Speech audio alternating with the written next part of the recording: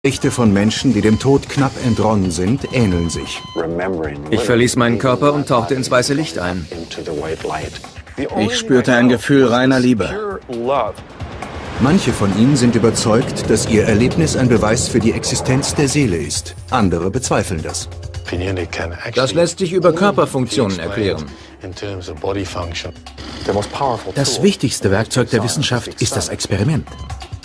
In Laborversuchen sollen Nahtoderfahrungen simuliert werden. Mein Körper war tot, nicht aber die Essenz meiner selbst. Vielleicht haben wir es mit Halluzinationen des sterbenden Gehirns zu tun oder aber mit etwas wissenschaftlich nicht messbarem. In dieser Folge gehen wir dem Phänomen auf die Spur und suchen nach dem letzten Beweis.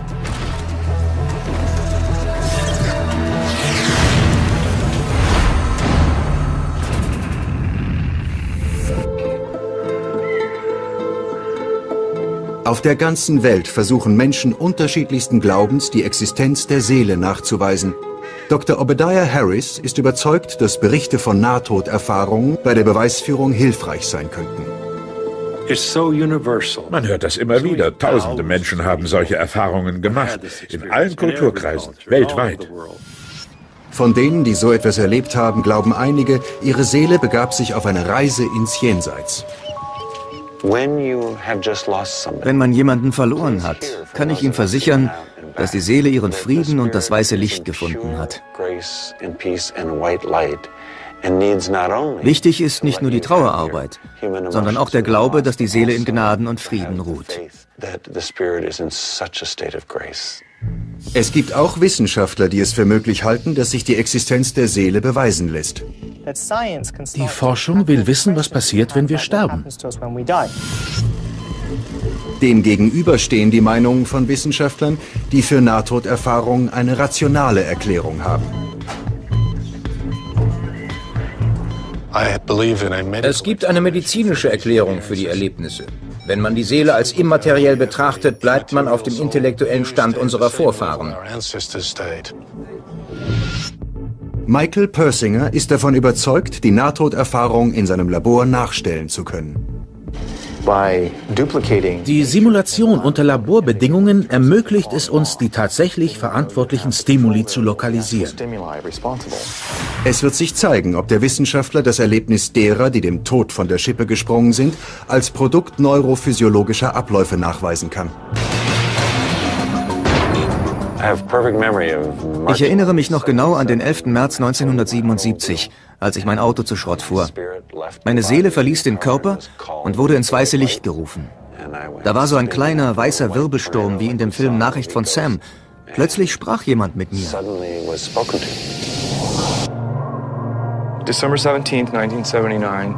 Am 17. Dezember 79 gerieten wir in einen Schneesturm schlitterten von der Straße und trafen auf einem Telefonmast. Ich wurde aus dem Jeep geschleudert.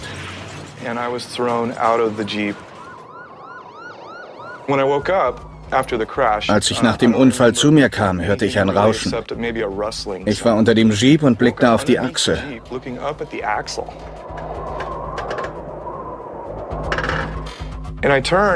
Ich drehte mich herum und sah jemanden, den ich zu kennen schien. Ich brauchte einen Moment, bis mir klar wurde, dass es jemand war, den ich sehr gut kannte. Mir wurde bewusst, dass ich mich selbst von oben betrachtete. Viele der Menschen mit solchen Erfahrungen waren bereits klinisch tot.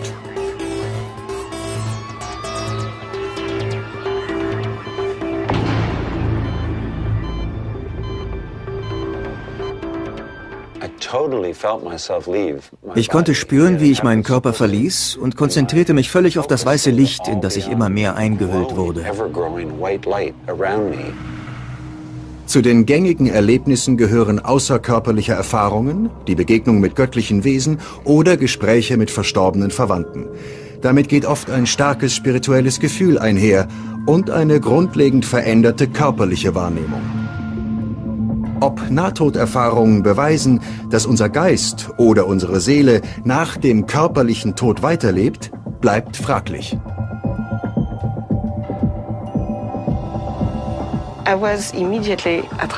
Sofort zog es mich ins Licht. Doch da war mehr. Im Licht befand sich ein Wesen. Ich konnte keine Wände oder so erkennen. Es war dunkel. Vor mir befanden sich zwölf Lichtwesen. Im Hintergrund strahlte eine riesige, extrem helle Sonne.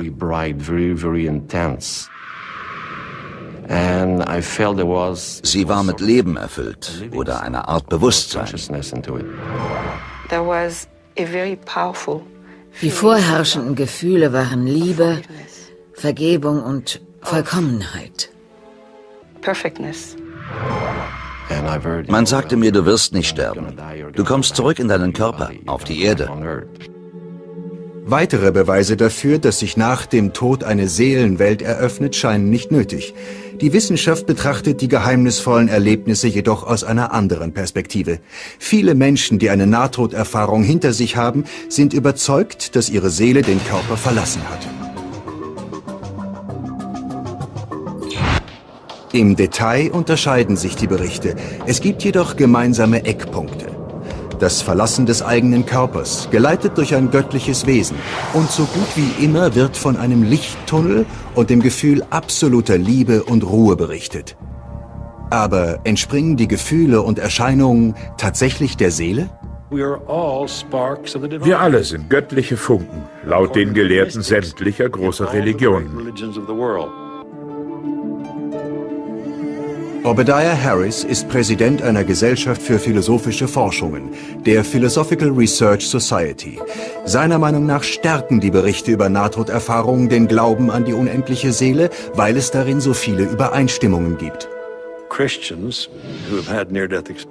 Christen, die eine Nahtoderfahrung gemacht haben, wie meine Mutter, sind oft der Meinung, ein Abbild Jesus Christus zu sehen. Buddhisten sehen Buddha, Hindus Krishna und Juden sehen Moses. Je nach Ausprägung unseres eigenen Bewusstseins offenbart sich uns die göttliche Erscheinung, die uns am meisten bedeutet. Es ist absolut überzeugend, dass Menschen so etwas erleben. Das Erwachen der Seele, die Umorientierung des Lebens. Sam Parnier, Intensivmediziner an der Universitätsklinik Southampton, betont, dass außerkörperliche Erfahrungen einen Hinweis auf die Wurzeln des Bewusstseins geben könnten. Inzwischen ist die Wissenschaft so weit, sich damit zu befassen, was nach dem Tod mit uns geschieht. Darum ist es sehr wichtig, dass sich die Forschung objektiv mit den Fragen beschäftigt. Das Besondere hierbei ist die Technologie, die es uns ermöglicht, zu beobachten, was während des Sterbens im Gehirn des Menschen vorgeht. Das war vor 50 Jahren noch nicht möglich. Dafür gibt es einen einfachen Grund. Die Möglichkeiten, Leute am Leben zu erhalten, sind inzwischen weitaus effektiver. Auch wenn sie bereits klinisch tot sind, können wir versuchen, sie zurückzuholen, um uns erzählen zu lassen, was sie erlebt haben. Die Berichte eröffnen uns einen einzigartigen Blick auf das, was wir alle während des Sterbens erleben werden. Andere Technologien wie Hirnstrommessung und Darstellung helfen bei der Aufklärung der Wechselwirkung zwischen Gehirn und Bewusstsein an so etwas war vor 20 bis 30 Jahren absolut nicht zu denken. Aufgrund seiner Arbeit mit Überlebenden nach einem Herzinfarkt stellte sich Dr. Pania die Frage, ob das Bewusstsein nach dem klinischen Tod weiter existiert. Jetzt will er beweisen, dass es nicht vom lebenden Gehirn ausgeht, sondern auf dem Schema der Atome beruht, aus denen sich die Zellen zusammensetzen.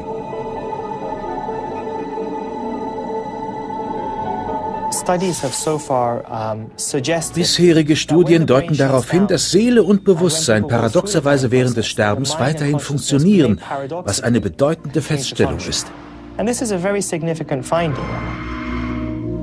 Wer Bewusstseinserfahrungen nach einem klinischen Tod gemacht hat, für den sind wissenschaftliche Nachweise oft unnötig.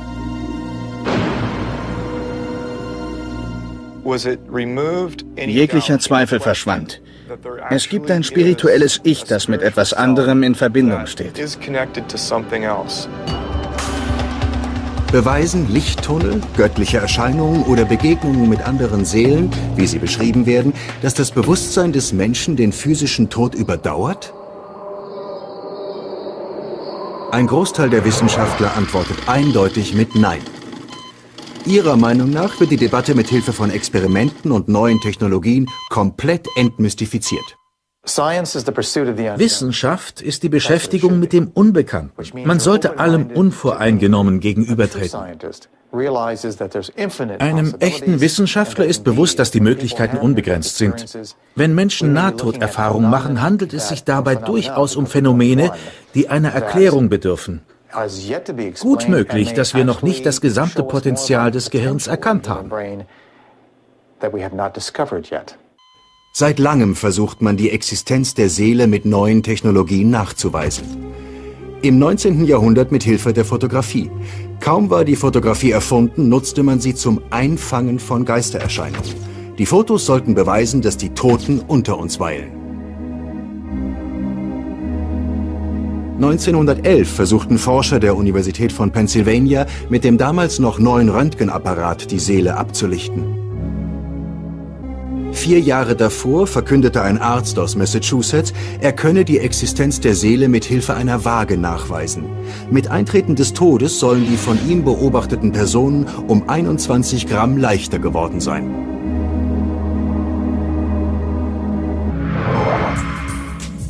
Heutzutage werden immer mehr Menschen vor dem frühen Tod bewahrt. Aufgrund der Erinnerungen bei Nahtoderlebnissen konzentrieren sich die Wissenschaftler auf das, was im Moment des Todes passiert. Rein medizinisch betrachtet lässt sich jeder Aspekt der Erlebnisse tatsächlich erklären. Der Anästhesist Dr. Jerry Worley meint, Veränderungen im Hirn treten durch Schock, Sauerstoffentzug, Anästhesie und ähnliche ganz normale Ursachen auf und verursachen Nahtoderfahrungen.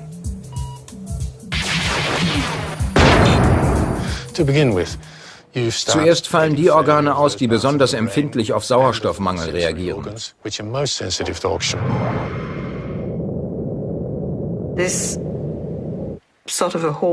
Da war so ein dunkles Loch, das mich aufnahm. Eine Art Tunnel.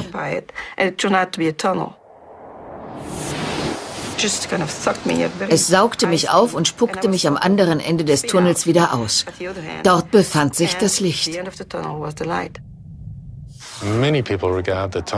Viele betrachten den Lichttunnel, den sie während einer Nahtoderfahrung sehen, als Tor ins Jenseits. Ich glaube, er ist das Produkt fortschreitender Blutarmut in der Netzhaut. Die Retina ist lichtempfindlich und wird von einem zentralen Punkt aus mit Blut versorgt. Das Blut breitet sich kreisförmig aus bis an den Rand der Netzhaut.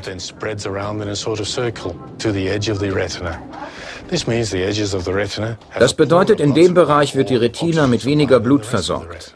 Mit zunehmendem Sauerstoffmangel versagen die Außenbereiche der Netzhaut, bis nur noch ein mittiger Lichtpunkt wahrgenommen wird. Das ist die Tunnelsicht.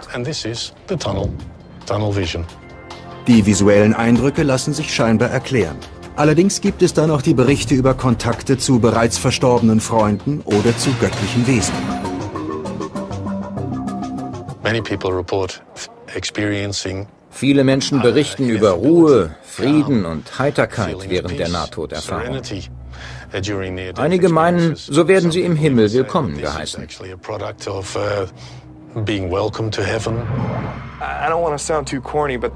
Das soll jetzt nicht kitschig klingen, aber es ist ein Zustand reiner Liebe. Ein Gefühl der Liebe, wie man es für jemanden empfindet, dem man sehr nahe steht. Genau das Gefühl meine ich. Ich spürte einfach nur diese absolut reine Liebe. Worley lokalisiert diesen Zustand in einem bestimmten Bereich des Gehirns und nicht im Himmel. Der Sauerstoffmangel löst primär eine Fehlfunktion der Präfrontallappen aus. Die Folgen sind Unbekümmertheit, Ruhe, sogar Glücksgefühl. Das ist auch schon die Hauptursache der beschriebenen Gefühle. Mehr nicht. Ein weiterer Sinneseindruck bei Nahtoderfahrungen ist der, über dem eigenen Körper zu schweben.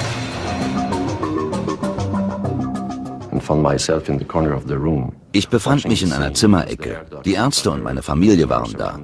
Man sagte meinen Eltern, ich würde sterben. Während ich zusah, wusste ich, dass ich mich selbst betrachte. Es bestand aber keine emotionale Bindung gegenüber meinem Körper. Selbst für außerkörperliche Erfahrungen findet Worley eine Erklärung. Der Gyrus angularis, stimuliert durch Krankheit, Epilepsie oder elektrische Ströme während einer Operation, kann außerkörperliche Erfahrungen suggerieren. Was bedeutet, dass sich die Darstellung des eigenen Körpers durch Aktivierung bestimmter Bereiche des Gehirns verschieben kann. Außerkörperliche Erfahrungen haben wohl weniger mit einer losgelösten Seele zu tun. Sie gehören zur normalen Hirnfunktion. Burley ist nicht der einzige Skeptiker, was die spirituellen Interpretationen von Nahtoderfahrungen betrifft. Dr. Michael Persinger glaubt nicht nur, dass es in unserer Welt zu solchen Erlebnissen kommt, er behauptet sogar, er könne die gleichen Eindrücke in seinem Labor nachstellen. Wenn Menschen so etwas erleben, ob nun im Zusammenhang mit Todesnähe oder Drogen oder sonstigen ungewöhnlichen Phänomenen, gibt es da Zusammenhänge. Und die Ursache dafür ist unbekannt. Im Labor können wir ein Experiment durchführen, das beweiskräftigste Werkzeug der Wissenschaft. Hiermit lassen sich die Stimuli für das Phänomen finden und ein- oder ausschalten. Laut Worley käme es bei Menschen, die dem Tod knapp entronnen sind, zu einer Fehlinterpretation von Gefühlen als tatsächliches Erlebnis. Eine Menge Leute berichten von Nahtoderlebnissen während Herzinfarkten oder Wiederbelebungsversuchen. Sie erzählen davon, was sie dabei gehört und gesehen haben und was um sie herum passiert ist. Genau in dem Zustand kann es durchaus zu außerkörperlichen Erlebnissen und der Tunnelvision kommen. Das ist der Ursprung der Geschichten von Nahtoderfahrungen während der sogenannten Flatline. Der Theologe Obadiah Harris glaubt, Skeptikern fehlt der Blick auf den Gesamtzusammenhang. Die meisten Kritiker erliegen dem Eindruck, dass wir über etwas Greifbares sprechen. Das ist falsch. Wir reden über etwas Symbolisches. Die Person, die eine Nahtoderfahrung macht, berichtet meist nur schemenhaft davon. Sie sagt, mein Erlebnis lässt sich mit Worten nicht ausdrücken. Sie müssen sich selbst gegenüber eingestehen, dass es nicht greifbar ist. Es ist eine spirituelle Erfahrung, ein innerliches Erwachen. Meine Antwort für Wissenschaftler, die nicht an die Seele glauben, ist, dass alle, die dieses Erlebnis hatten, es wissen. Auch wenn es sich nicht beweisen lässt. Wenn jemand nicht daran glauben kann, auch gut. Die Wissenschaft will den Glauben auf die Probe stellen. Wenn Menschen beteuern, dass ihre Erlebnisse den Beweis für ein Leben nach dem Tode liefern, suchen Forscher selbstverständlich nach empirischen Beweisen.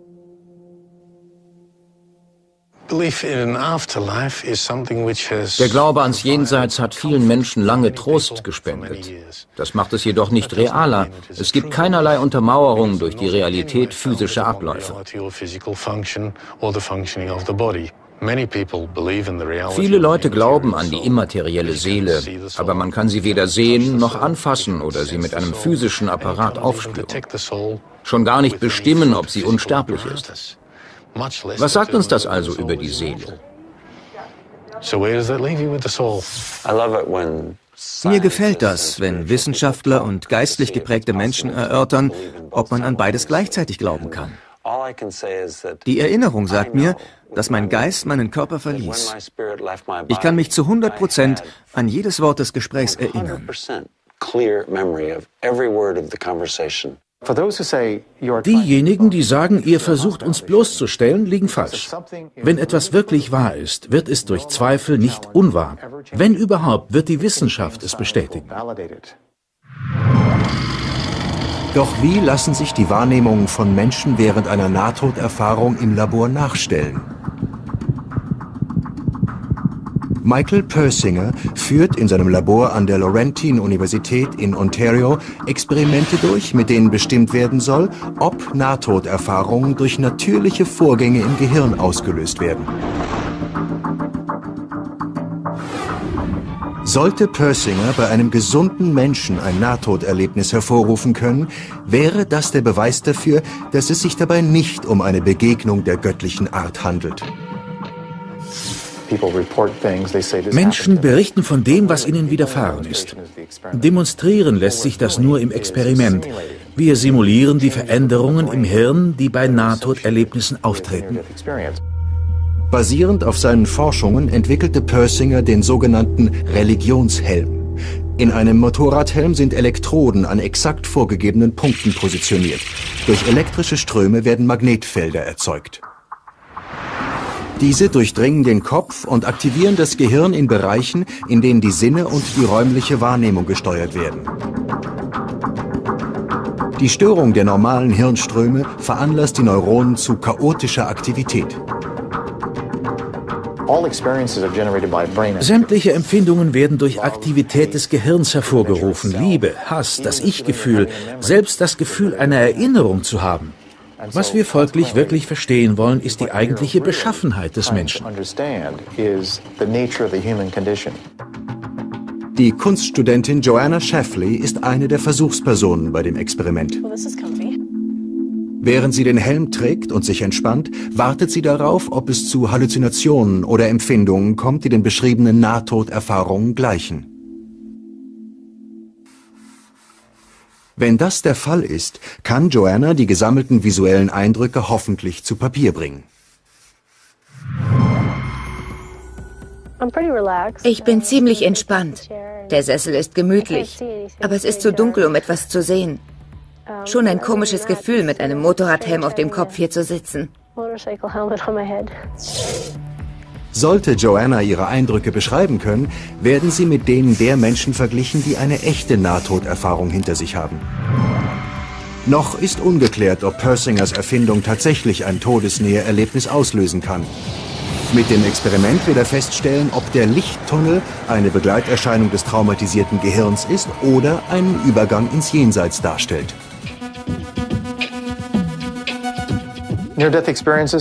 Nahtoderfahrungen entstehen durch ein extremes Hirntrauma. Wenn die Bereiche stimuliert werden, die vom Trauma betroffen sind, erzeugen sie exakt dieselben Eindrücke.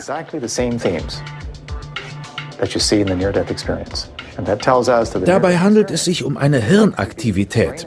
Es sind keine tatsächlichen Geschehnisse, sie entspringen dem Gehirn der jeweiligen Person. Die Versuchsperson sitzt mit verbundenen Augen in einem schalldichten Zimmer. Für die Sensorik zuständige Areale der rechten Hemisphäre werden mit Magnetfeldern stimuliert. Der modifizierte Motorradhelm verändert die Hirnströme. Darin angebrachte Sensoren zeichnen sie auf. Als Kunststudentin ist Joanna prädestiniert, die gewonnenen Eindrücke später darzustellen. Okay, alright, so I'm gonna put this over on you. Jetzt setze ich Ihnen den Helm auf und sorge dafür, dass Sie nichts mehr sehen. Alles dunkel? Inzwischen sollten alle Faktoren, die Sie ablenken könnten, ausgeschaltet sein. Auch wenn die Umgebung dunkel und unheimlich wirkt, es ist überaus wichtig, dass sie sich entspannt, damit sich ihre Hirnaktivitäten verringern. Michael Persinger überwacht mit einem Elektroenzephalographen, welche Bereiche von Joannas Gehirn die meiste Aktivität aufweisen. Joanna? Yes? Okay, now. Ihr Gehirn ist noch zu aktiv. Sie müssen sich entspannen, damit die Magnetfelder wirken können. Unsere Versuchsperson kann sich nicht richtig entspannen. Das Erlebte in Worte zu fassen, fällt ihr ebenfalls schwer.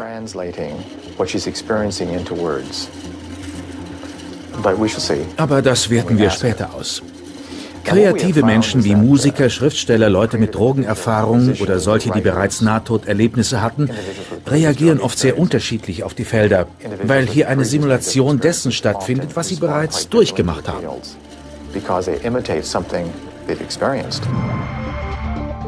Nachdem sich Joanna an die Umgebung gewöhnt hat, kann Michael Persinger die erste Phase des Experiments einleiten. Ist der Sitz der Elektroden überprüft? Bei einer Nahtoderfahrung gehen viele Dinge vor sich, die im Labor auf natürlichem Wege nicht nachzuvollziehen sind. Da hätten wir das Absinken des Blutdrucks und die Veränderung des Blutflusses. Wir versuchen das anhand der Hirnstromveränderungen nachzustellen.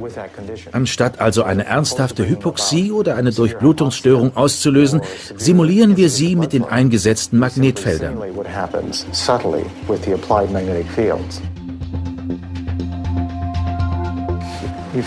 Sind wir soweit?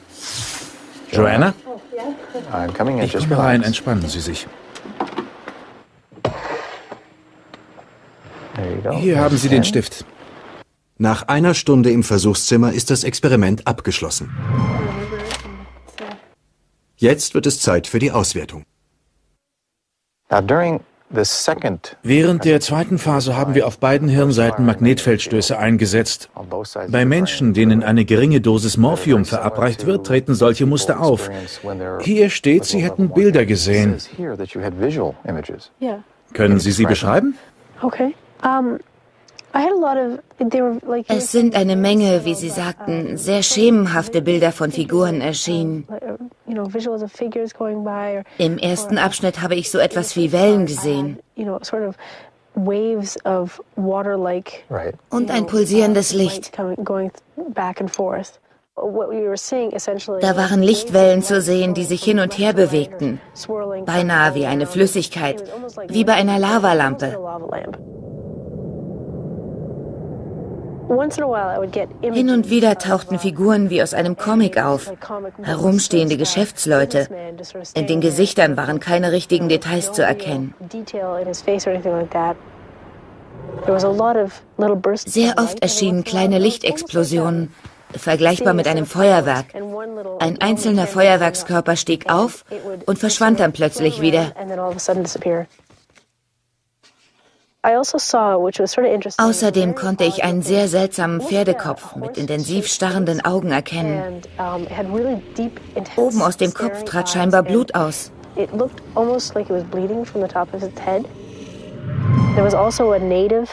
Dann war da noch eine indianerartige Gestalt, so etwas wie ein Häuptling, mit Federn am Kopf. Nichts davon war klar und deutlich zu sehen. Es war, als würde man Wolken betrachten und etwas zwischen den Schattierungen erkennen.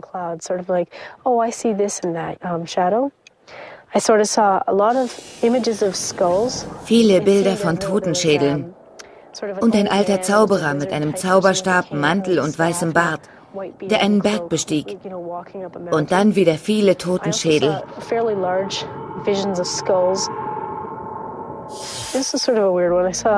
Ich sah eine ziemlich bizarre Konferenz mit Managern, ein Geschäftsmann und Leute, die um ihn herum versammelt waren.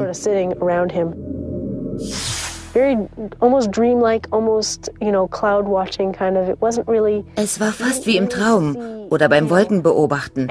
Da war nichts zu sehen, was auf dich zukommt und dich erschreckt oder so. Das Erlebnis war eher von Euphorie geprägt. Das war sehr deutlich. Joanna hatte eindeutig visuelle Wahrnehmung. Aber sie waren verschwommener als bei Menschen, die ein Nahtoderlebnis hatten. Es sind faszinierende Bilder. Die Behauptung der Nahtoskeptiker, ein solches Erlebnis ließe sich mit dem Helm simulieren, ist dadurch jedoch noch nicht bewiesen. Das nächste Experiment soll genau diesen Beweis erbringen. Jim Chapman hatte 1999 eine Nahtoderfahrung. Jetzt soll er die damaligen Sinneseindrücke mit denen vergleichen, die Persingers Helm hervorrufen. Es passierte am Thanksgiving Day. Ausgerechnet in einem Wellnessclub erlitt ich einen Herzinfarkt. Mein Herz war stehen geblieben. Ich atmete nicht mehr, war klinisch tot. Als ich die Augen öffnete, befand ich mich in einer anderen Dimension, nicht mehr auf dem Krankenhausbett.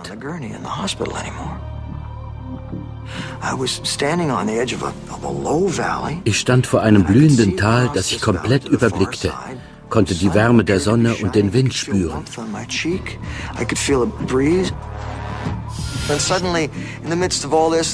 Plötzlich tauchte mittendrin eine Frau auf und schrie mich an. Ich blinzelte und trat einen Schritt zurück. Als ich die Augen öffnete, lag ich in der Notaufnahme.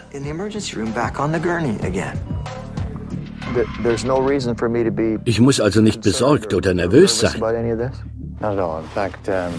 Ganz und gar nicht. Es sind schwache Magnetfelder, schwächer als die eines Föhns. Es werden Gehirnstrommuster erzeugt, die das Hirn auch in der Natur aufweist. Sagt er. Sollten Jims echte Eindrücke mit den künstlich erzeugten übereinstimmen, hätte Michael Persinger den überzeugenden Beweis, dass es eine wissenschaftliche Erklärung für Nahtoderfahrungen gibt. Lassen Sie es passieren. Nichts erzwingen. Wenn Sie etwas beschreiben wollen, nur zu. Wenn sich keine Übereinstimmung mit der Nahtoderfahrung, auch NTE genannt, findet, kann Persinger die Existenz der Seele nicht ausschließen.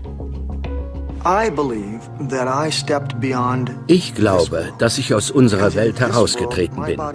Hier war mein Körper mausetot, aber mein Bewusstsein blieb bestehen. War ich im Himmel? Keine Ahnung. Es war eine andere Art Realität, eine andere Welt, in der es alles gab, wonach ich je verlangen könnte. Fantastic. Viele Menschen glauben, dass sich bei einer NTE zeigt, was nach dem Tod passiert. Wissenschaftlich betrachtet könnte das durchaus sein. Eine andere Erklärung hat jedoch mit der Hirnaktivität zu tun. Sie gibt uns mehr Informationen über die betroffenen Bereiche des Gehirns, die Auslöser und was das persönlich bedeutet. Die Berichte sind möglicherweise korrekt. Wenn es sich jedoch um eine Hirnaktivität handelt, sollte man auch diese Erklärung in Betracht ziehen. Das sollten wir mit aufzeichnen, wenn es zur Hirnaktivität gehört. Das Experiment ist in zwei Phasen a 30 Minuten unterteilt. Persinger zeichnet auf, wie Jims Gehirn auf die Simulation reagiert. Wie dünn sind sie? Die gehen auch vom Frontallappen aus. Genau wie bei den Schüben. Davon zeigen sich einige. Da kam Ausschlag nach Ausschlag.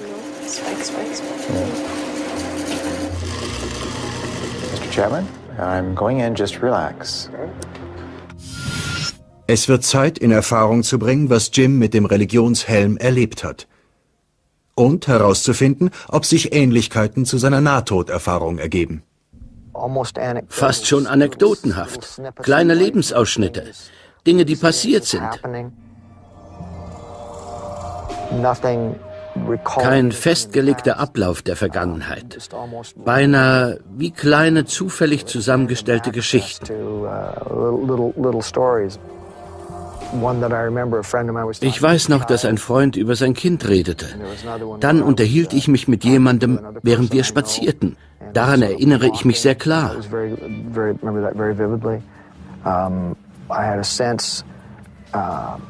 Ich hatte das Gefühl, mich nicht wirklich wegzubewegen. Mir war klar, dass ich im Sessel saß. Aber sobald es um mich selbst ging, wich die Empfindung, im Sessel zu sitzen.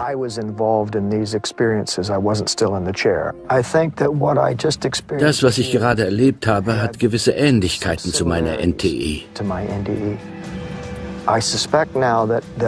Jetzt, nachdem ich diese Erfahrung gemacht habe und dabei beobachtet wurde und man mir sagte, dass bestimmte erwartete Reaktionen aufgetreten sind, spüre ich eine Verbindung zwischen dem, was ich hier erlebt habe und meiner Nahtoderfahrung. Ich finde es aufregend, dass so etwas inzwischen möglich ist. Für Jim gibt es scheinbar Ähnlichkeiten. Aber wie intensiv waren die Visionen im Vergleich dazu, während seiner NTE das Tal zu überblicken und über die wunderschöne Landschaft hinwegzufliegen?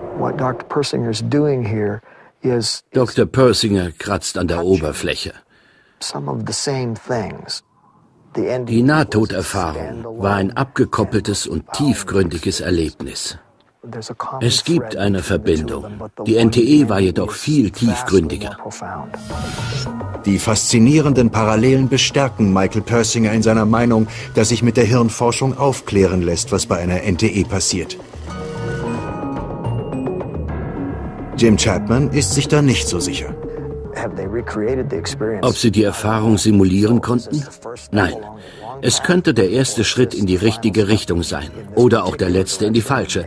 Ich finde es jedenfalls interessant, über die Möglichkeiten nachzudenken. Dass sich die Wissenschaft überhaupt mit solchen Fragen beschäftigen kann, ist ein Beleg dafür, was die Forschung zu leisten vermag. Hätte ich vor 50 Jahren behauptet, in Ihr Gehirn blicken zu können, hätten Sie das für unmöglich gehalten. Heutzutage haben wir Kernspintomographen, die das sehr genau hinkriegen und uns zeigen können, was vor sich geht. Was wir allerdings brauchen könnten, ist ein Gerät, mit dem sich Gedanken messen und darstellen lassen. Damit könnten wir feststellen, was zum Lebensende mit dem Bewusstsein passiert. Noch gibt es die Technologie zum Lokalisieren des Bewusstseins oder der Seele nicht. Genauso wenig ist es möglich zu bestimmen, was damit passiert, nachdem der Körper stirbt. Im Experiment zeigt sich, dass man einige, aber nicht alle der Wahrnehmungen, die bei einer Todesnäherfahrung auftreten, im Labor nachstellen kann. Was wirklich passiert, wenn wir sterben, kann uns die Simulation des Erlebnisses nicht beantworten. Bei seinen Studien zu Nahtoderfahrungen macht ein Forscher eine erstaunliche Entdeckung. Mario Boriga hat festgestellt, dass sich Menschen, die während einer NTE die Präsenz eines göttlichen Wesens spüren, komplett ändern. Nicht nur emotionell, es kommt auch zu physischen Veränderungen im Gehirn.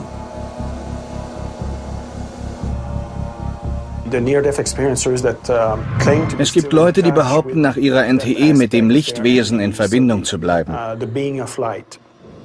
Bei den meisten lässt sich dieses Wesen mit Gott gleichsetzen. Dr. Beauregard ist Psychologe an der Universität von Montreal. Bei seinen Experimenten werden die Versuchspersonen aufgefordert, sich an das Licht aus der NTE zu erinnern. Dabei wertet er ihre Hirnaktivität aus. Einer der Probanden ist Gilles Bedard. Wie immer. Die Augen sind die ganze Zeit zu. Wir fangen im Ruhezustand an. Versetzen Sie sich in den Ausgangszustand. Der Mann sagt, er hätte immer noch täglich Kontakt zu diesem Lichtwesen. Während er versucht, eine Verbindung herzustellen, mit dem Licht eins zu werden, durchleuchten wir sein Gehirn.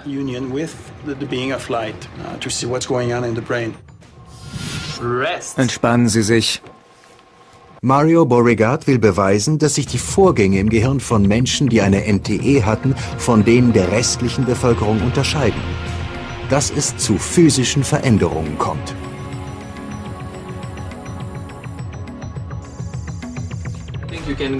Vertiefen Sie sich mehr in die spirituellen Emotionen.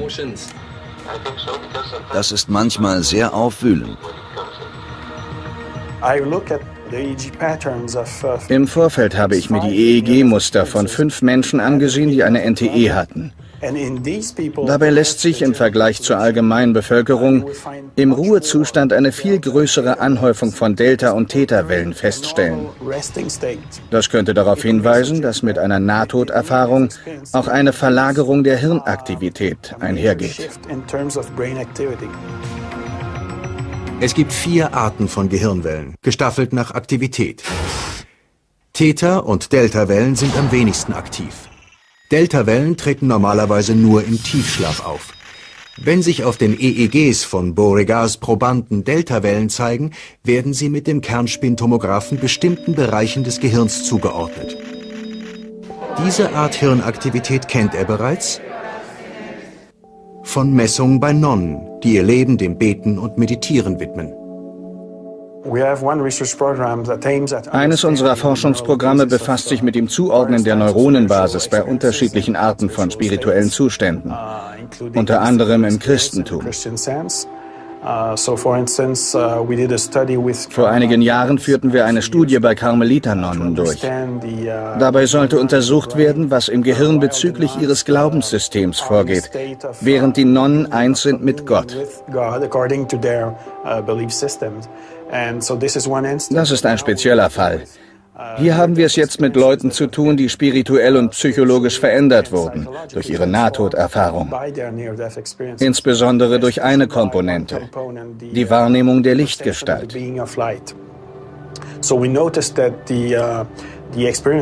Wir haben bemerkt, dass die Leute, die eine besonders starke Bindung zu dem Lichtwesen eingehen, auch extreme psychologische und tiefgreifende spirituelle Veränderungen durchmachen.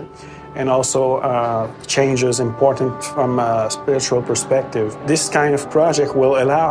mit dem Projekt können wir das, was bei einer NTE mit dem Gehirn passiert, mit dem vergleichen, was bei den Nonnen vorgeht, wenn sie sich in den Zustand der Einheit mit Gott versetzen. Beauregard versucht nicht herauszufinden, was nach dem Tod passiert. Was im Gehirn von Menschen vorgeht, die knapp überlebt haben, lässt sich seiner Meinung nach inzwischen wissenschaftlich aufklären. Gleichzeitig ist es eine Frage, die Philosophen und Theologen seit Jahrhunderten beschäftigt.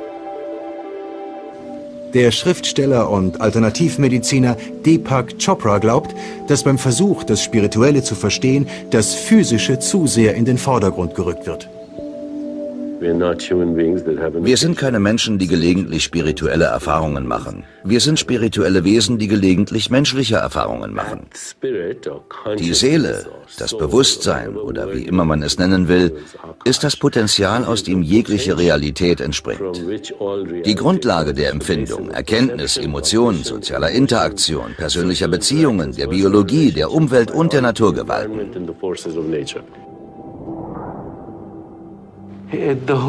Allein die Vorstellung des wissenschaftlichen Beweises ist unvollständig. Er vermittelt nur einen partiellen Blick auf die Realität.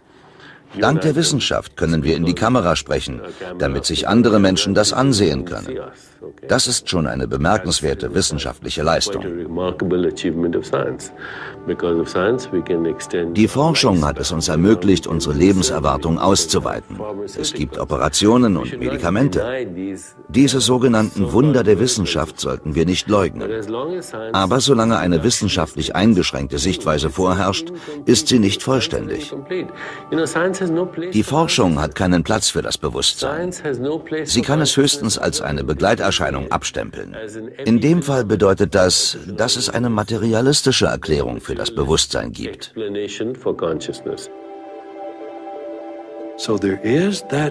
Es gibt da etwas. Ob wir es Seele, göttlicher Funke, Gott oder wie auch immer nennen. Ich sage Seele dazu. Ein Blick auf die Seele, auf das tatsächliche Ich, bringt eine Verwandlung mit sich.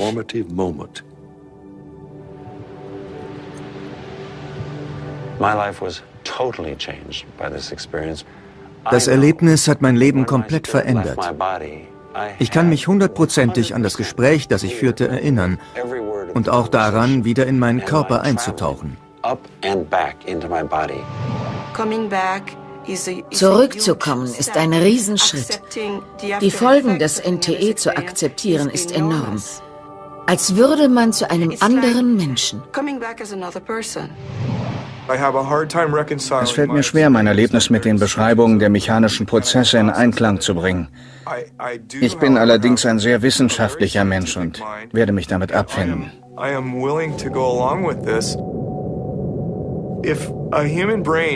Wenn das Gehirn des Menschen solche Eindrücke produzieren kann und dadurch unseren Weggang verschönert, ist das unglaublich. Und wenn nicht mehr dahinter steckt, komme ich damit klar.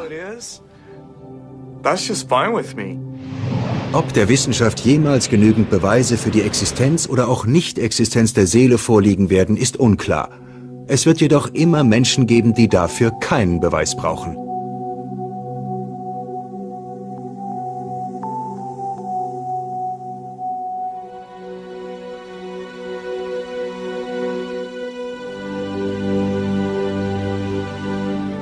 Die Simulation unter Laborbedingungen ermöglicht es uns, die tatsächlich verantwortlichen Stimuli zu lokalisieren. Es wird sich zeigen, ob der Wissenschaftler das Erlebnis derer, die dem Tod von der Schippe gesprungen sind, als Produkt neurophysiologischer Abläufe nachweisen kann. Ich erinnere mich noch genau an den 11. März 1977, als ich mein Auto zu Schrott fuhr. Meine Seele verließ den Körper und wurde ins weiße Licht gerufen. Da war so ein kleiner weißer Wirbelsturm wie in dem Film Nachricht von Sam. Plötzlich sprach jemand mit mir.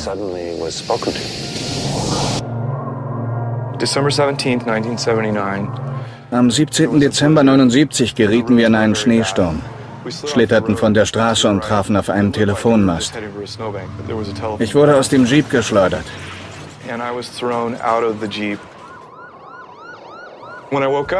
Als ich nach dem Unfall zu mir kam, hörte ich ein Rauschen. Ich war unter dem Jeep und blickte auf die Achse.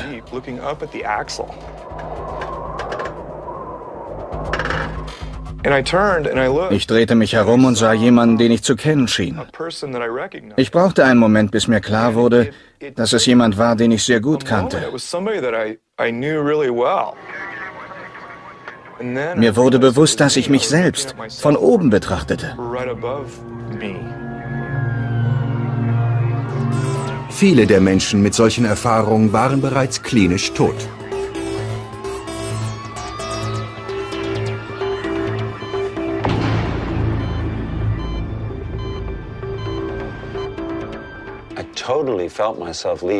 Ich konnte spüren, wie ich meinen Körper verließ und konzentrierte mich völlig auf das weiße Licht, in das ich immer mehr eingehüllt wurde.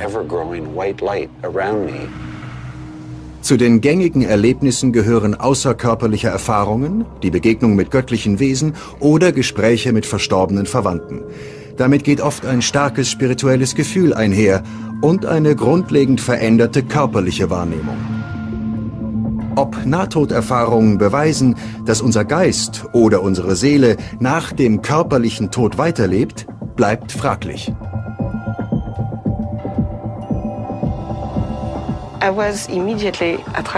Sofort zog es mich ins Licht. Doch da war mehr. Im Licht befand sich ein Wesen. Ich konnte keine Wände oder so erkennen. Es war dunkel. Vor mir befanden sich zwölf Lichtwesen. Im Hintergrund strahlte eine riesige, extrem helle Sonne.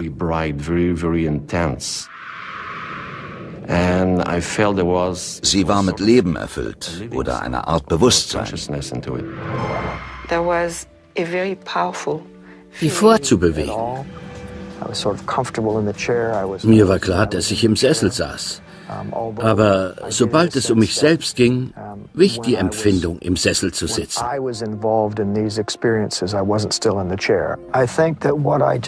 Das, was ich gerade erlebt habe, hat gewisse Ähnlichkeiten zu meiner NTE. Jetzt, nachdem ich diese Erfahrung gemacht habe und dabei beobachtet wurde und man mir sagte, dass bestimmte erwartete Reaktionen aufgetreten sind, spüre ich eine Verbindung zwischen dem, was ich hier erlebt habe und meiner Nahtoderfahrung. Ich finde es aufregend, dass so etwas inzwischen möglich ist. Für Jim gibt es scheinbar Ähnlichkeiten. Aber wie intensiv waren die Visionen im Vergleich dazu, während seiner NTE das Tal zu überblicken und über die wunderschöne Landschaft hinwegzufliegen? Dr. Persinger kratzt an der Oberfläche. Die Nahtoderfahrung war ein abgekoppeltes und tiefgründiges Erlebnis. Es gibt eine Verbindung. Die NTE war jedoch viel tiefgründiger.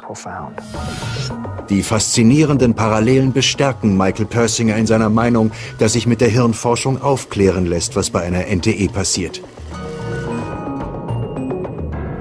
Jim Chapman ist sich da nicht so sicher. Ob sie die Erfahrung simulieren konnten? Nein. Es könnte der erste Schritt in die richtige Richtung sein oder auch der letzte in die falsche. Ich finde es jedenfalls interessant, über die Möglichkeiten nachzudenken. Dass sich die Wissenschaft überhaupt mit solchen Fragen beschäftigen kann, ist ein Beleg dafür, was die Forschung zu leisten vermag. Hätte ich vor 50 Jahren behauptet, in Ihr Gehirn blicken zu können, hätten Sie das für unmöglich gehalten. Heutzutage haben wir Kernspintomographen, die das sehr genau hinkriegen und uns zeigen können, was vor sich geht. Was wir allerdings brauchen könnten, ist ein Gerät, mit dem sich Gedanken messen und darstellen lassen. Damit könnten wir feststellen, was zum Lebensende mit dem Bewusstsein passiert. Noch gibt es die Technologie zum Lokalisieren des Bewusstseins oder der Seele nicht. Genauso wenig ist es möglich zu bestimmen, was damit passiert, nachdem der Körper stirbt. Im Experiment zeigt sich, dass man einige, aber nicht alle der Wahrnehmungen, die bei einer Todesnäherfahrung auftreten, im Labor nachstellen kann. Was wirklich passiert, wenn wir sterben, kann uns die Simulation des Erlebnisses nicht beantworten. Bei seinen Studien zu den gängigen Erlebnissen gehören außerkörperliche Erfahrungen, die Begegnung mit göttlichen Wesen oder Gespräche mit verstorbenen Verwandten. Damit geht oft ein starkes spirituelles Gefühl einher und eine grundlegend veränderte körperliche Wahrnehmung. Ob Nahtoderfahrungen beweisen, dass unser Geist oder unsere Seele nach dem körperlichen Tod weiterlebt, bleibt fraglich.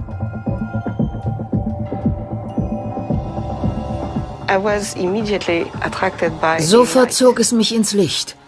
Doch da war mehr. Im Licht befand sich ein Wesen. Ich konnte keine Wände oder so erkennen. Es war dunkel. Vor mir befanden sich zwölf Lichtwesen. Im Hintergrund strahlte eine riesige, extrem helle Sonne.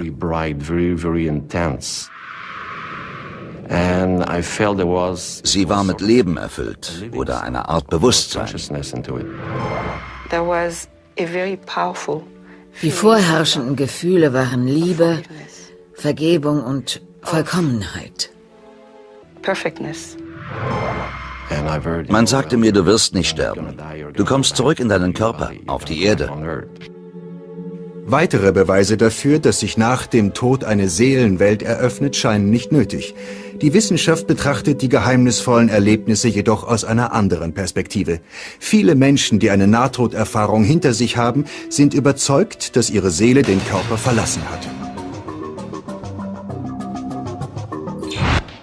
Im Detail unterscheiden sich die Berichte. Es gibt jedoch gemeinsame Eckpunkte das Verlassen des eigenen Körpers, geleitet durch ein göttliches Wesen.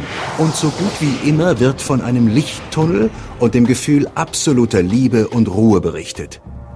Aber entspringen die Gefühle und Erscheinungen tatsächlich der Seele? Wir alle sind göttliche Funken, laut den Gelehrten sämtlicher großer Religionen. Obadiah Harris ist Präsident einer Gesellschaft für philosophische Forschungen, der Philosophical Research Society.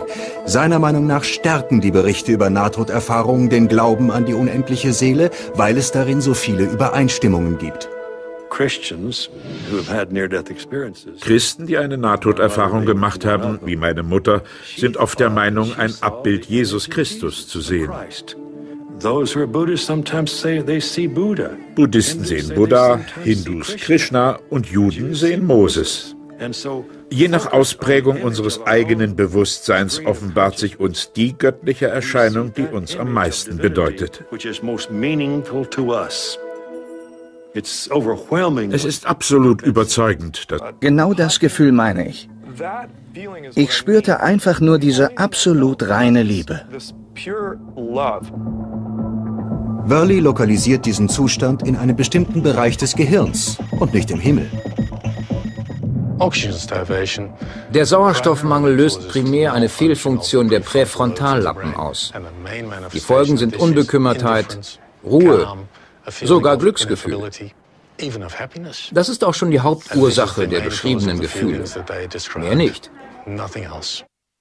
Ein weiterer Sinneseindruck bei Nahtoderfahrungen ist der, über dem eigenen Körper zu schweben.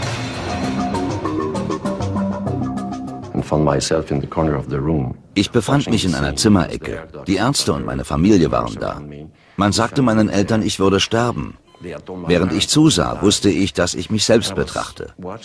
Es bestand aber keine emotionale Bindung gegenüber meinem Körper. Selbst für außerkörperliche Erfahrungen findet Worley eine Erklärung. Der Gyrus angularis, stimuliert durch Krankheit, Epilepsie oder elektrische Ströme während einer Operation, kann außerkörperliche Erfahrungen suggerieren. Was bedeutet, dass sich die Darstellung des eigenen Körpers durch Aktivierung bestimmter Bereiche des Gehirns verschieben kann. Außerkörperliche Erfahrungen haben wohl weniger mit einer losgelösten Seele zu tun. Sie gehören zur normalen Hirnfunktion. Burley ist nicht der einzige Skeptiker, was die spirituellen Interpretationen von Nahtoderfahrungen betrifft. Dr. Michael Persinger glaubt nicht nur, dass es in unserer Welt zu solchen Erlebnissen kommt, er behauptet sogar, er könne die gleichen Eindrücke in seinem Labor nachstellen. Wenn Menschen so etwas erleben, ob nun im Zusammenhang mit Todesnähe oder Drogen oder sonstigen ungewöhnlichen Phänomenen, gibt es da Zusammenhänge. Und die Ursache dafür ist unbekannt. Im Labor können wir ein Experiment durchführen, das beweiskräftigste Werkzeug der Wissenschaft. Hiermit lassen sich die Stimuli für das Phänomen finden und ein- oder ausschalten. Laut Worley käme es bei Menschen, die dem Tod knapp entronnen sind, zu einer Fehlinterpretation von Gefühlen als tatsächliches Erlebnis. Eine Menge Leute berichten von Nahtoderlebnissen während Herzinfarkten oder Wiederbelebungsversuchen. Sie erzählen davon, was sie dabei gehört und gesehen haben und was um sie herum passiert ist. Genau in dem Zustand kann es durchaus zu außerkörperlichen Erlebnissen und der Tunnelvision kommen. Das ist der Ursprung der Geschichten von Nahtoderfahrungen während der sogenannten Flatline zurückzuholen, um uns erzählen zu lassen, was sie erlebt haben. Die Berichte eröffnen uns einen einzigartigen Blick auf das, was wir alle während des Sterbens erleben werden. Andere Technologien wie Hirnstrommessung und Darstellung helfen bei der Aufklärung der Wechselwirkung zwischen Gehirn und Bewusstsein. An so etwas war vor 20 bis 30 Jahren absolut nicht zu denken.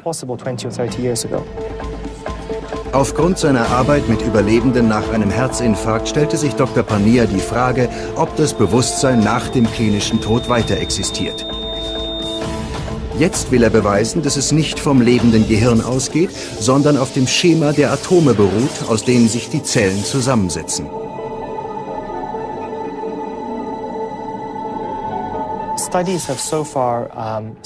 Bisherige Studien deuten darauf hin, dass Seele und Bewusstsein paradoxerweise während des Sterbens weiterhin funktionieren, was eine bedeutende Feststellung ist. Wer Bewusstseinserfahrungen nach einem klinischen Tod gemacht hat, für den sind wissenschaftliche Nachweise oft unnötig.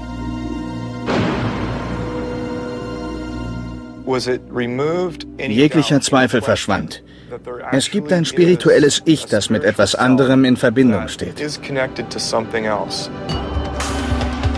Beweisen Lichttunnel, göttliche Erscheinungen oder Begegnungen mit anderen Seelen, wie sie beschrieben werden, dass das Bewusstsein des Menschen den physischen Tod überdauert? Ein Großteil der Wissenschaftler antwortet eindeutig mit Nein. Ihrer Meinung nach wird die Debatte mit Hilfe von Experimenten und neuen Technologien komplett entmystifiziert. Wissenschaft ist die Beschäftigung mit dem Unbekannten. Man sollte allem unvoreingenommen gegenübertreten. Einem echten Wissenschaftler ist bewusst, dass die Möglichkeiten unbegrenzt sind.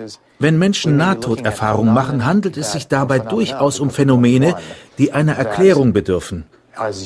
Gut möglich, dass wir noch nicht das gesamte Potenzial des Gehirns erkannt haben. Seit langem versucht man die Existenz der Seele mit neuen Technologien nachzuweisen. Im 19. Jahrhundert mit Hilfe der Fotografie. Kaum war die Fotografie erfunden, nutzte man sie zum Einfangen von Geistererscheinungen. Die Fotos sollten beweisen, dass die Toten unter uns weilen. 1911 versuchten Forscher der Universität von Pennsylvania mit dem damals noch neuen Röntgenapparat die Seele abzulichten. Vier Jahre davor verkündete ein Arzt aus Massachusetts, er könne die Existenz der Seele mit Hilfe einer Waage nachweisen. Mit Eintreten des Todes sollen die von ihm beobachteten Personen um 21 Gramm leichter geworden sein. Aufgrund der Erinnerungen bei Nahtoderlebnissen konzentrieren sich die Wissenschaftler auf das, was im Moment des Todes passiert. Rein medizinisch betrachtet lässt sich jeder Aspekt der Erlebnisse tatsächlich erklären.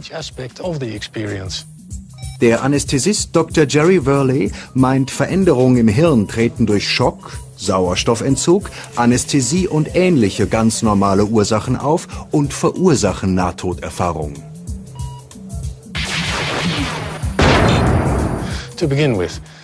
Zuerst fallen die Organe aus, die besonders empfindlich auf Sauerstoffmangel reagieren.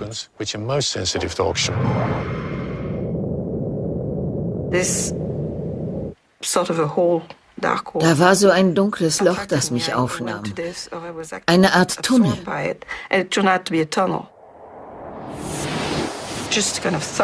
Es saugte mich auf und spuckte mich am anderen Ende des Tunnels wieder aus. Dort befand sich das Licht.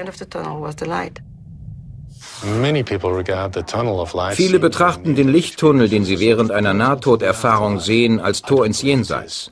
Ich glaube, er ist das Produkt fortschreitender Blutarmut in der Netzhaut.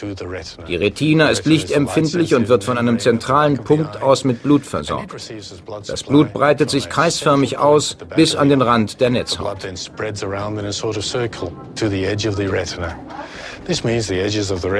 Das bedeutet, in dem Bereich wird die Retina mit weniger Blut versorgt. Mit zunehmendem Sauerstoffmangel versagen die Außenbereiche der Netzhaut, bis nur noch ein mittiger Lichtpunkt wahrgenommen wird. Das ist die Tunnelsicht. Die visuellen Eindrücke lassen sich scheinbar erklären. Allerdings gibt es da noch die Berichte über Kontakte zu bereits verstorbenen Freunden oder zu göttlichen Wesen. Many people report experiencing Viele Menschen berichten über Ruhe, Frieden und Heiterkeit während der Nahtoderfahrung. Einige meinen, so werden sie im Himmel willkommen geheißen.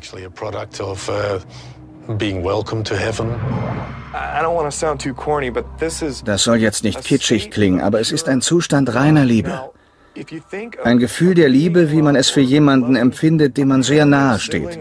Genau das Gefühl meine ich. Ich spürte einfach nur diese absolut reine Liebe.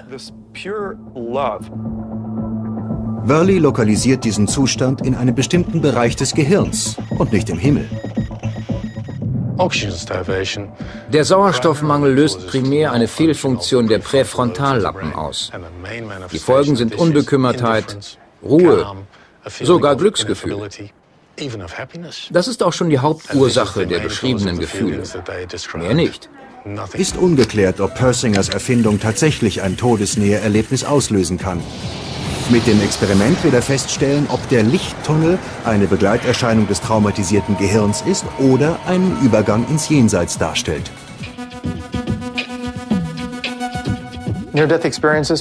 Nahtoderfahrungen entstehen durch ein extremes Hirntrauma. Wenn die Bereiche stimuliert werden, die vom Trauma betroffen sind, erzeugen sie exakt dieselben Eindrücke.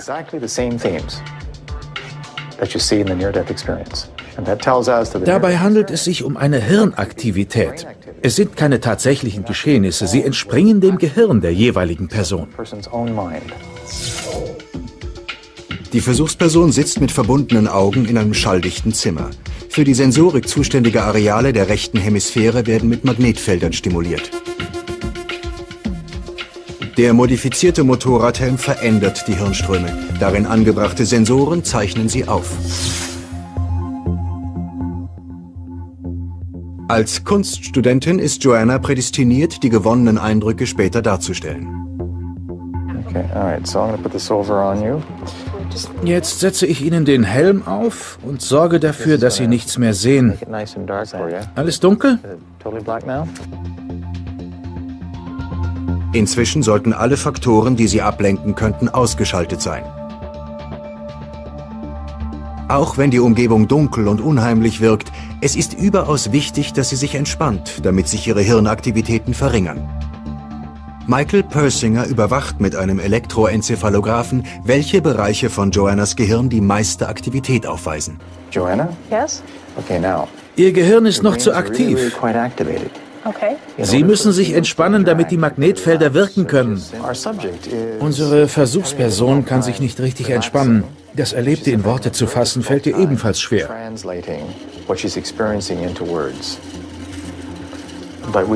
Aber das werten wir später aus. Kreative Menschen wie Musiker, Schriftsteller, Leute mit Drogenerfahrung oder solche, die bereits Nahtoderlebnisse hatten, reagieren oft sehr unterschiedlich auf die Felder, weil hier eine Simulation dessen stattfindet, was sie bereits durchgemacht haben.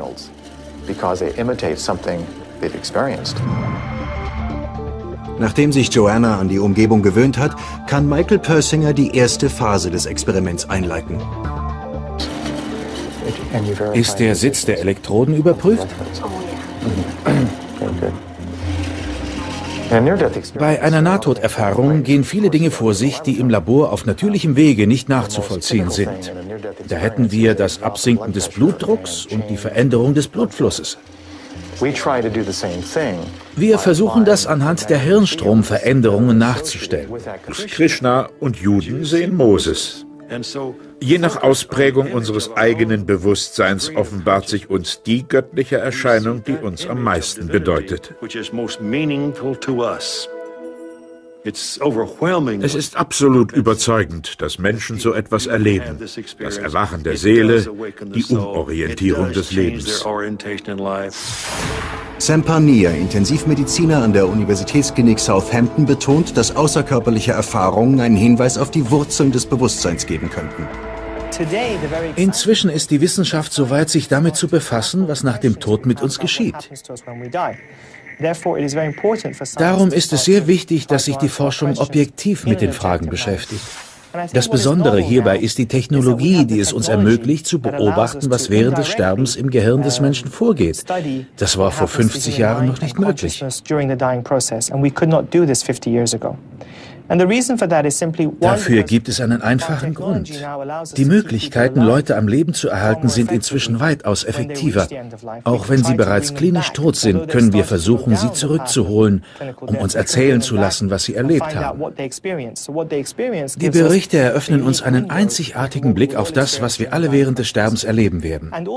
Andere Technologien wie Hirnstrommessung und Darstellung helfen bei der Aufklärung der Wechselwirkung zwischen Gehirn und Bewusstsein an so etwas war vor 20 bis 30 Jahren absolut nicht zu denken. Aufgrund seiner Arbeit mit Überlebenden nach einem Herzinfarkt stellte sich Dr. Pania die Frage, ob das Bewusstsein nach dem klinischen Tod weiter existiert. Jetzt will er beweisen, dass es nicht vom lebenden Gehirn ausgeht, sondern auf dem Schema der Atome beruht, aus denen sich die Zellen zusammensetzen.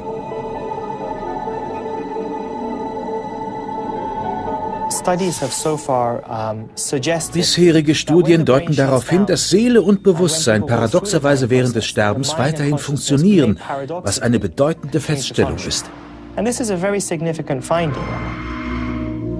Wer Bewusstseinserfahrungen nach einem klinischen Tod gemacht hat, für den sind wissenschaftliche Nachweise oft unnötig.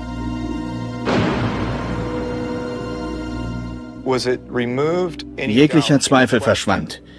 Es gibt ein spirituelles Ich, das mit etwas anderem in Verbindung steht. Beweisen Lichttunnel, göttliche Erscheinungen oder Begegnungen mit anderen Seelen, wie sie beschrieben werden, dass das Bewusstsein des Menschen den physischen Tod überdauert? Ein Großteil der Wissenschaftler antwortet eindeutig mit Nein. Ihrer Meinung nach wird die Debatte mit Hilfe von Experimenten und neuen Technologien komplett entmystifiziert. Hat scheinbar Blut aus. Also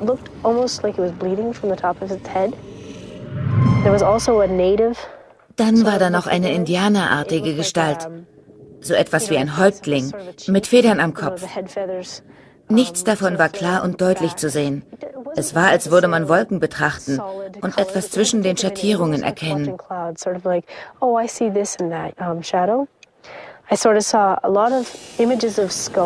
Viele Bilder von Totenschädeln und ein alter Zauberer mit einem Zauberstab, Mantel und weißem Bart, der einen Berg bestieg. Und dann wieder viele Totenschädel.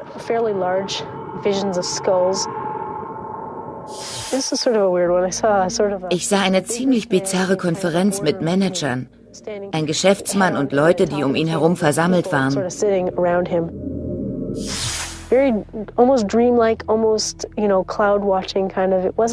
Es war fast wie im Traum oder beim Wolkenbeobachten. Da war nichts zu sehen, was auf dich zukommt und dich erschreckt oder so. Das Erlebnis war eher von Euphorie geprägt. Das war sehr deutlich. Joanna hatte eindeutig visuelle Wahrnehmung.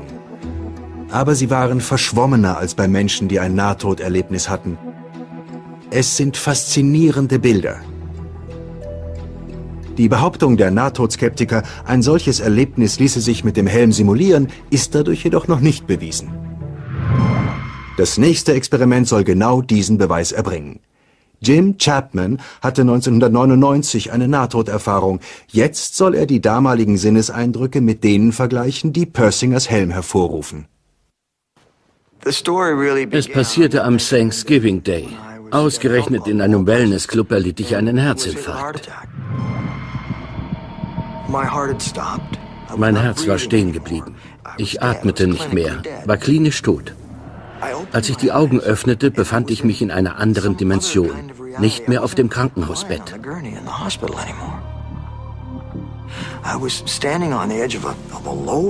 Ich stand vor einem blühenden Tal, das ich komplett überblickte, konnte die Wärme der Sonne und den Wind spüren.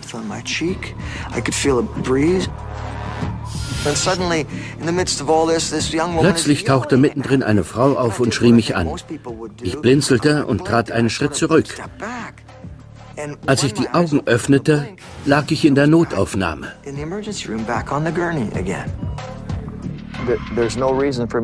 Ich muss also nicht besorgt oder nervös sein. Ganz und gar nicht. Es sind schwache Magnetfelder, schwächer als die eines Föhns. Es werden Gehirnstrommuster erzeugt, die das Hirn auch in der Natur aufweist. Sagt er. Wenn jemand nicht daran glauben kann, auch gut. Die Wissenschaft will den Glauben auf die Probe stellen. Wenn Menschen beteuern, dass ihre Erlebnisse den Beweis für ein Leben nach dem Tode liefern, suchen Forscher selbstverständlich nach empirischen Beweisen.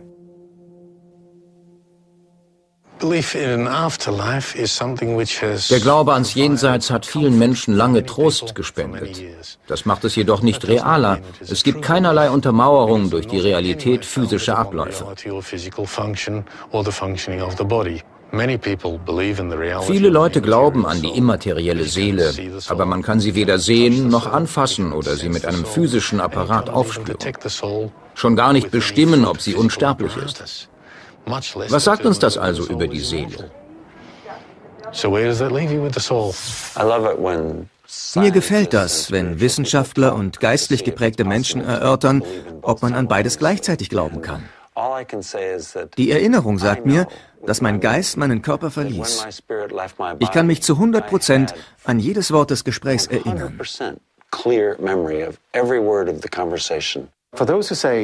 Diejenigen, die sagen, ihr versucht uns bloßzustellen, liegen falsch. Wenn etwas wirklich wahr ist, wird es durch Zweifel nicht unwahr. Wenn überhaupt, wird die Wissenschaft es bestätigen.